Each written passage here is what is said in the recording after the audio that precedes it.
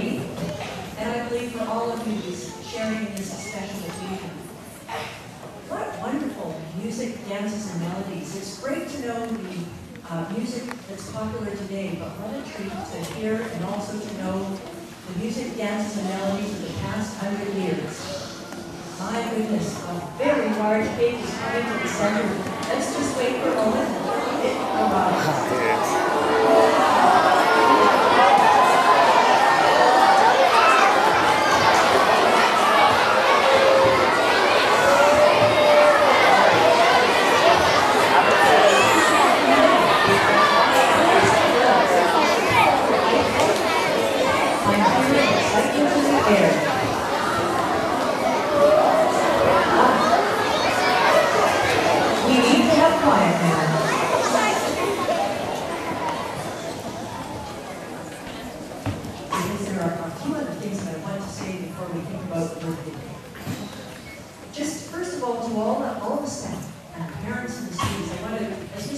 Said when we began our assembly, to thank you for your wonderful planning, your hard work, and your creativity. You must feel proud to be part of this special occasion. Now, we have spent a lot of time looking back at the past hundred years, but let's also remember the future. The hard work you're doing in math and language arts and science and music and dance and other languages. And very importantly, PAWS behavior. Be polite, accountable, welcoming, and safe. Those ideas will lay the groundwork for a wonderful future for you and for the next hundred years of our school.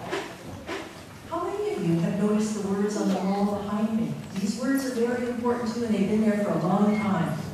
Good work and service, goodwill and sincerity. Those were the ideas that guided the thinking and the actions of students before our time, and they're still very important to us. I'm now going to say a thank you to a list of people, and these are the grown-ups, the, the staff and the parents, who did a lot of work planning for both today and tomorrow. And they include Mr. Finley, Ms. Edwards, Ms. Collins, Ms. Mayhew, Ms. Loa, Ms. Lavalley, Mr. Mr. Wong, Ms. Schonenberger, Ms. Johnson, Ms. Litke, Mr. Stewart, and Ms. Stewart.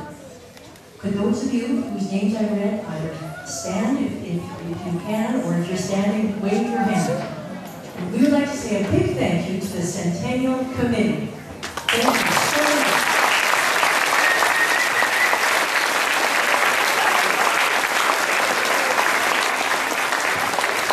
Now, I would ask two members of that committee to come and join me. Uh, and that's Mr. Finley and Ms. Lowe.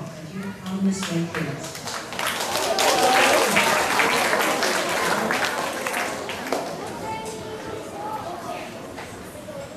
Now, many of us started thinking about the centennial oh, about a year ago, or perhaps a bit longer than that. But someone here I know started thinking about this probably five years ago, and even was a mastermind of the 75th celebration. So that was thinking about the importance of Wolfe and its histories 25 years ago. So I am speaking about Mr. Finley. Mr. Finley, you have been such a fantastic creative guiding force for this whole event and our whole celebration. And we are so grateful to you for all that you have done. So we have a small token of our thanks. On behalf of all of us, thank you so much.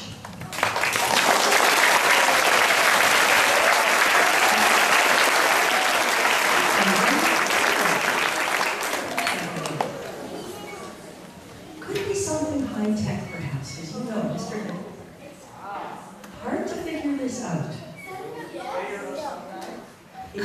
We hope you'll see Mr. Finley wearing it tomorrow. It's an electronic badge, just like this it. And I, I think one, you can program it to say anything, and one thing it can certainly say is, Mr. Wolfe Centennial, you're a hero to us.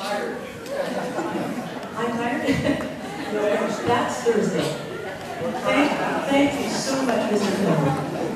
And the second person that we need to thank, because you may not know it, but the artistry in planning for this centennial celebration comes from Heather Loa. All of you, many of you know Ms. Loa from her years of teaching here, but she's been practically living at the school, creating the magnificent images all around here. So on behalf of all of us, a huge thank you to you, Ms. Muller. And thank you.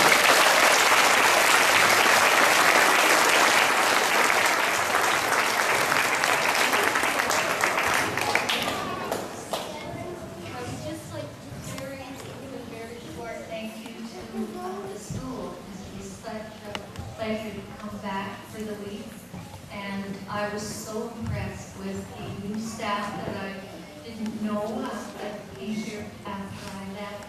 And the students that I saw working so hard. The classrooms are fabulous. And I'm excited about tomorrow to go into your classrooms and see all your